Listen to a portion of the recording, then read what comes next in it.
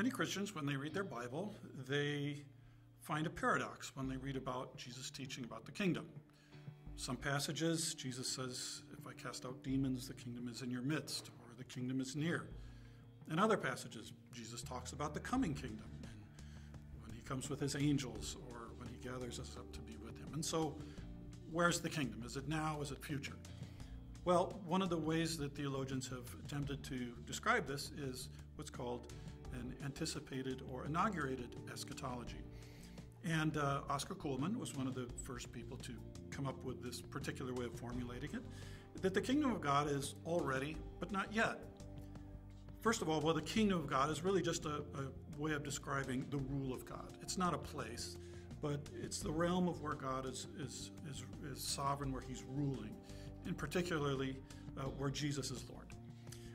So, where Jesus is Lord in his earthly life and casting out demons, healing the sick, uh, raising the dead, the kingdom has broken into history. And so we say the kingdom is present, but it's not all the way there yet.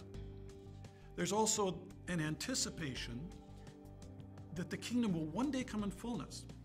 And so we talk about Jesus' earthly ministry as being an anticipation, an inauguration of the kingdom, because he's beginning to break the curse of sin. He's beginning to, to cancel the curse of sin by healing sickness, which was a result of the fall, or raising people from the dead, which was a curse of the fall.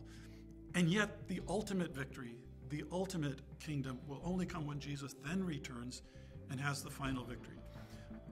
I believe it was Cullmann who also used the illustration of, uh, of D Day versus uh, VE Day.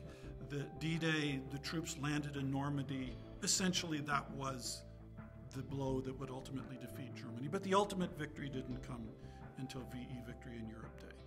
Uh, I don't know if that's a perfect illustration because I believe the cross broke the power of sin and death in a more ultimate way than that illustration does. But it gives you an idea that uh, the kingdom now in the age of the church is present, but not yet in its fullness.